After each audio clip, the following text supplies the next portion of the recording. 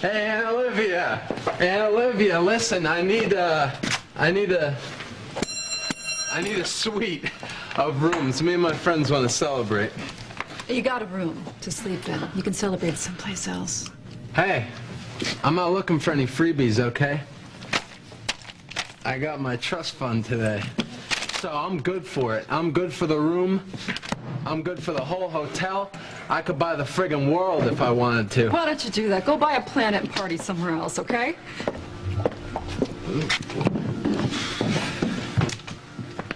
All right, listen. I didn't tell you about Ruth, okay? And that is a bad idea on the surface, I know, but someday... Someday may not come because I'll be in jail.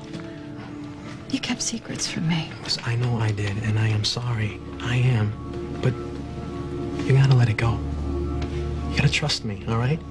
Because whether you like it or not, we are all in this together. You, me, Harley, and anyone who Philip thinks is against them. And I think he's, I think he's losing. I think, I think he's pulling out all the stops here. And if we don't all work together on this, I think somebody might get killed.